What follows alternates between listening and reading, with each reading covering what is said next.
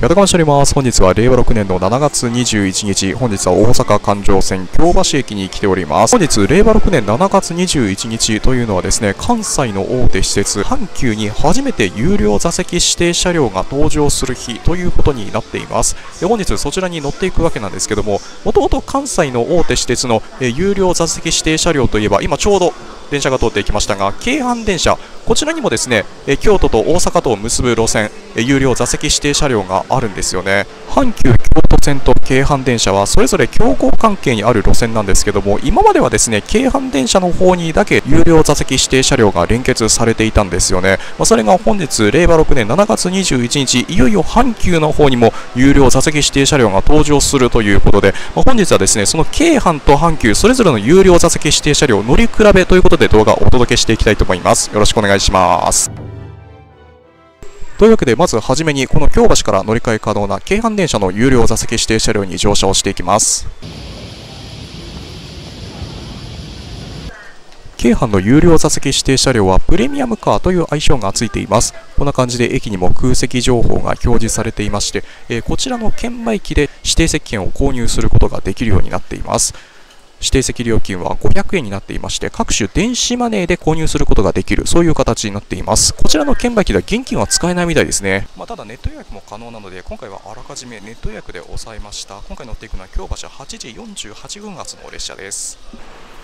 プラットフォームにやってきました。乗っていく8時48分発、列車が入線してくるのを待ちたいと思います。プレミアムカーの乗車位置、大きくプレミアムカー乗車口と書かれていまして、分かりやすくなっています。ホームドアにもそういった装飾がありまして、なんとなく高級感が漂っています。8両編成の特急のうち6号車を改造して作ったというのが京阪のプレミアムカーになっています。線に特急出町柳行きが8両で到着します黄色の乗車駅三田町口の1番から8番でお待ちくださいさあやってきました。京阪特急8000系です。赤色の車体でして車両は8両編成。前から4両目が実は2階建ての車両になってるんですけどもここは普通車自由席です。プレミアムカーはここではなく6号車に設定されています。車体のカラーリングも、まあ、一部黄色に塗装されていましてなんとなくプレミアム感が漂っています。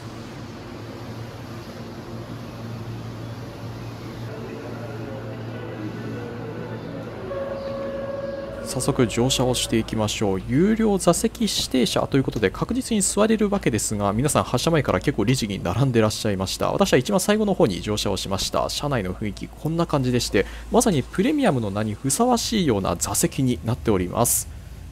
列車は京橋駅を出発していきますがこのブラインドも雅な雰囲気。そしてあの新幹線でもあるようなこの持ち手のところですね。ここも本当になんか高級感がある雰囲気です。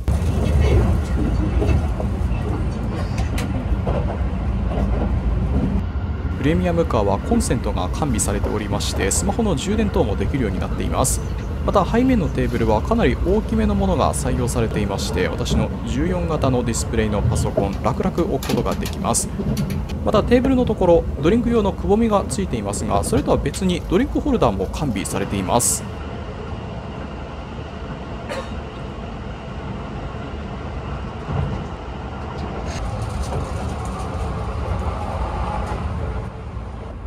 非常に高級感のある京阪プレミアムカーなのですが少しだけ欠点を述べるとすればもともと改造した車両ということもありまして一部窓枠が合っていない座席があります。また床のところも枯山水みたいな雅なデザインになってるんですけどもちょっと前のところがですね足を伸ばすと当たっちゃうというのがまちょっと欠点としてあるかなと思います。列車は先ほど京都府に入りまして今木津川を渡ったところです。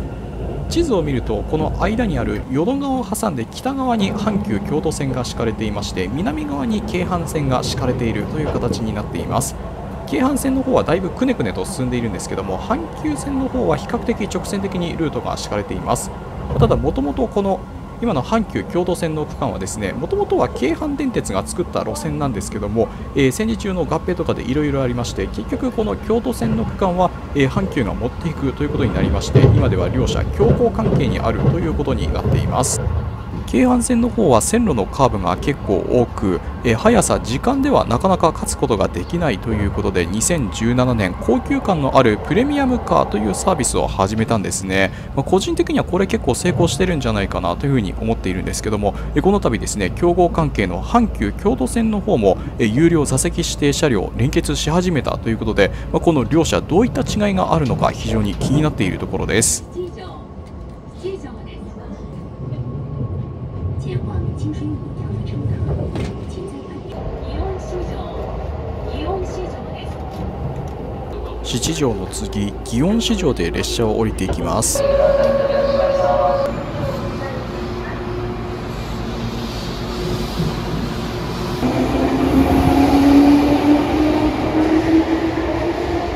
というわけで京阪のプレミアムカー祇園市場駅で降りてまいりました、まあ追加料金500円でめちゃくちゃ豪華な空間が広がっていましてあの非常に快適でした、まあ、そんな感想なんですけども今度は阪急の方に登場した有料座席指定車に乗車をしていきます。この祇園市場駅から少し歩いていくと阪急京都線のターミナル駅京都河原町駅が存在しています。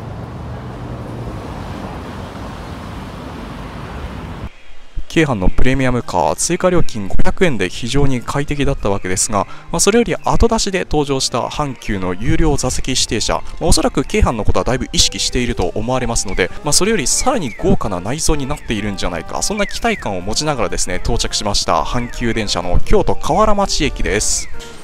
というわけで阪急の方券売機付近にやってきたわけですがこちら阪急に本日から登場した有料座席指定車はプライベースという名前がついています。これはプライベートとプレイスを掛け合わせた言葉ということになっているようです。座席指定料金は500円になっていましてこれ京阪のプレミアムカーと同じ料金になってるんですよね。料金面でもだいぶ意識しているそんな雰囲気が感じられます。でこちらプライベースなんですけども京阪とは違いまして駅の券売機で、えー座席を予約できるというようなものはなくてですねもう完全にオンラインで購入するという形になっているようです、まあ空席があれば車内でアテンダントから購入する、まあ、そういう方法もあるようですが、まあ基本的にはオンライン予約サイトから予約するということになっています。さあプラットフォームにやってきました。対向のホームに、えー準急の天下茶屋行きが止まっていますが乗っていくのはこちら10時10分発の特急大阪梅田行きです。まだ到着してないみたいですね。阪急電車といえばこの阪急マルーンカラーですよね。開業当初からの伝統的なカラーリングになっています。また車内の座席のモケットの色はゴールデンオリーブ、まあ、緑色になっていまして結構ふかふかな座席なんですよね。ちなみにこちらプライベースの乗車位置なんですけどもなんか違和感あるなと思ったらこのサービスのスペルがですね愛が一つ多くなってるんですよね、まあこれはおそらく社員たちの阪急電車への愛が一回り強かった。おそらくそういうことなんだろう。私はそういう風に解釈しましたただいま一号線に到着の電車は特急大阪梅田行きですさあいよいよやってきました。阪急史上初の有料座席指定車両プライベースを連結した編成です。通常の車両は3扉の車両ですがこれですねついに現れました。プライベースの車両真ん中に1つだけ扉があるという形になっていまして窓割りもだいぶ違うんですよね。これが阪急初の有料座席指定車両プライベースということになります。ま開業初日ということもありまして結構皆さん写真とか撮ってらっしゃる方が多かった印象です。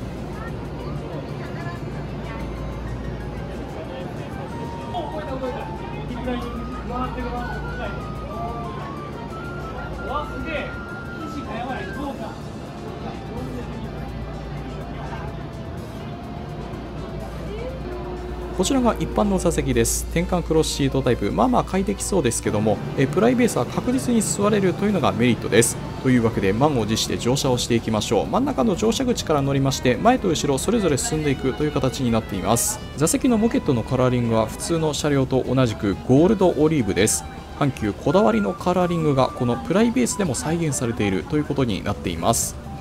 さあプライベースの座席座ってみたんですけどまず驚いたのがこの目隠しのせり出しです。JR のバブル期に作られたグリーン車みたいな本当に重厚な座席になっているのが印象的でした。でこれリクライニングも倒れるんですけどもこれ京阪のプレミアムカーとは違いましてえ背もたれだけではなくて座面も連動して動くタイプになっていましてそれがすごいなというふに思いました。またこんな感じで読書灯もついております。もちろんコンセントもついておりましてスマホの充電やパソコンも使うことができます。お待たせしました。ご乗車ありがとうございます。特急大阪駅です。次は烏丸烏丸です。烏丸のお次は桂に停まります。今回座っている QA 座席というのは一応車椅子の方優先の座席ということになっています、まあ、今回ここしか空いていませんでしたし、まあ、あくまで優先座席なのでそういう場合は座っても問題ないかと思われますが一応そういう車椅子優先の座席ということで前がめちゃくちゃ広くなっています。またこれ以外の座席に関しても京阪のプレミアムカーとは違いましてあの座席の下の空間が少し空いておりましてあの足を伸ばすことが容易にできそうなそういうデザインになっていました。またテーブルに関しては背面のものではなくてこういった肘掛けから引き出すタイプのものが搭載されていました。まあ、ただこれちょっと京阪プレミアムカーと比べると小さめかなという印象ですね。パソコンを置くとちょっと前後が飛び出しちゃうかな。そんな感じでした。プライベースの広告物にはですねこのプライベース社内でパソコン操作をしている、まあ、そういうビジネスマンの写真も使われていましたのでこのプライベース社内でパソコン操作をするというのも十分想定はされていると思うんですけどもにしてはちょっとこのテーブルが小さいなというのは思わなくはないところでした。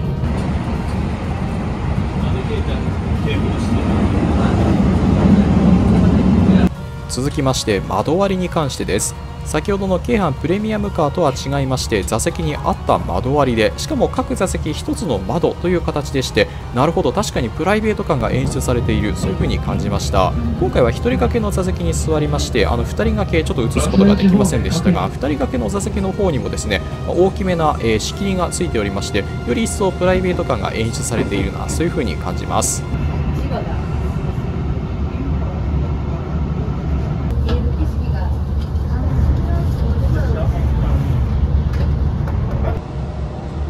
高槻市高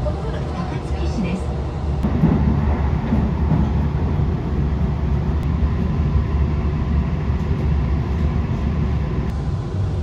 淡路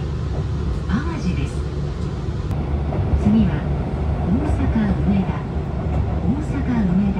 終点です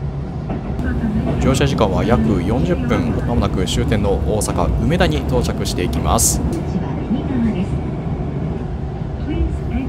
さあというわけで終点の大阪梅田駅に到着です。500円の課金をして乗車をした阪急のプライベース名残惜しく下車をしていきます、まあ、今回乗ってみた感想としてはですね、まあ、非常に個室感が演出された座席になってるなというふうに感じました。また京阪のプレミアムカーに関しても私個人的には3年ぶりぐらいに乗車をしたんですけども改めです改めてですね本当にゴージャスな空間が広がっていまして感動を覚えました。本日デビューをした阪急のプライベースに関しては個人的には京阪プレミアムカーのようなゴージャス感があって感動する、まあ、そんなことあんまりなかったんですけども、まだからといって阪急のプライベースがしょぼいかというと全然そんなことはなくてですね、まそもそもそれぞれコンセプトが全然違うんだなということを感じました。